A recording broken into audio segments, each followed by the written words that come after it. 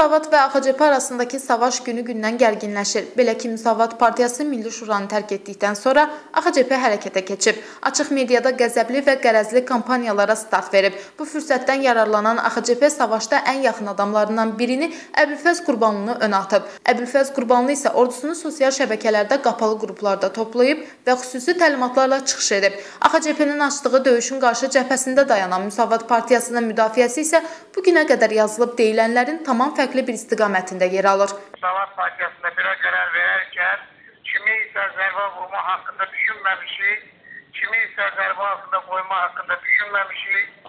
Savaş partiyası heç vaxtı Milli Şuranın tərkibində olmayıb. Savaş partiyasının üzvləri fərd kimi olub orada və biz partiya olaraq orada daxil olmamışıq. Milli Şura partiyaları yox, fərdlərin birliyidir. Bu sualı da düz qoymurlar. Və Müsavat Partiyası Milli Şuradan çıxdı ifadəsi də düzgün deyil. Müsavat Partiyası heç vaxt Milli Şuranın üzvü olmamışdır. Baxmayaraq ki, Müsavat Partiyası bu fikirdədir. Ancaq AXCB Müsavatın tərəfdarlarını öz cəbhəsinə almaqda qərarlı görsənir. Belə ki, AXCB sədrinin müavini Fuad Qəhrəmanlı verdiyi açıqlamada Müsavatın moratoriumunu qeyri-səmimiliyinin və arqumentsizliyinin göstəricisi olaraq vurğulayıb. Daha bir maraqlı məqam isə Yeni Müsavat qəzetinin açıqlaması olub. Qəzet yazır ki, Müsavat başqanı görür ki, Əli Kərimli ilə hakimiyyətə gəlmək mümkün deyil.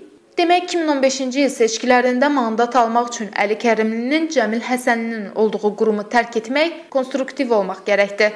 Qəzetdəki bu açıqlamaya isə Müsavat başqanının cavabı belə oldu. Təfəkkürata daha vermək fikrindən çox uzaqdır və bizim partiyada e, belə məsələlərə moratorium qoyub, ona görə də mən bu suala da cavab verməyəcəm. Milli Şuranı tərk edən tək Müsavat olmadı. El Hərəkatı sədrinin müavini Zəfər Quliyev isə Milli Şuranı tərk etdiyi barədə bəyanat yayıb. O uzun sürən düşüncələrdən sonra formalaşdırılmasında aktiv iştirak etdiyi təşkilatdan imtina etməyi açıqlayıb. Zümrüd Cavadova, Vizyon TV